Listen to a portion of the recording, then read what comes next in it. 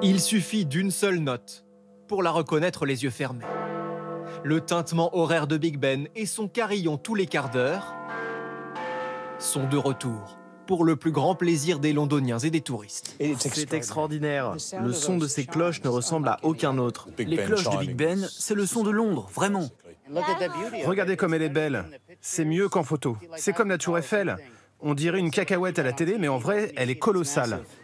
Comme une tour Eiffel qui jouerait de la musique. Car Big Ben, c'est une cloche de 14 tonnes qui fait toute la fierté des Britanniques. En 1858, quand ils ont hissé la cloche à 60 mètres de haut à la main, il leur a fallu 18 heures.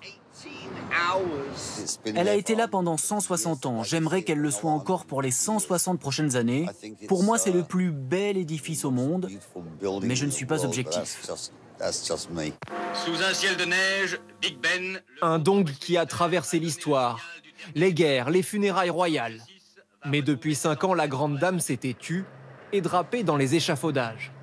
Des travaux titanesques pour rénover ces rouages d'époque d'une tonne. Ce poids lourd de l'horlogerie tient d'ailleurs peut-être son nom d'un autre poids lourd, Big Ben, un boxeur star de son époque. Quant aux aiguilles de 4 mètres et 400 kilos, elles ont avalé les décennies, mais aussi supporté le poids de Peter Pan ou des personnages d'Alfred Hitchcock, suspendus dans le vide.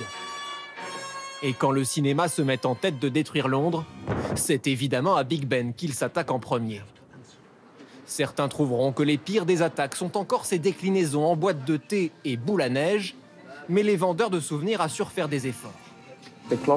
Avant, l'horloge ne tournait pas et les gens se plaignaient. Alors que maintenant, elle donne l'heure. Il faudra encore patienter de nombreux tours de cadran avant la réouverture de Big Ben aux visiteurs au printemps prochain.